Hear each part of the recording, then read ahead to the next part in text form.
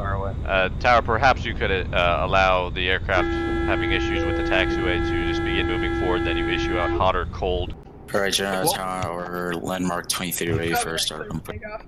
Okay, uh, landmark 1123, I'm gonna ask you to hold short for just a moment. We got a uh, CRJ that's departing runway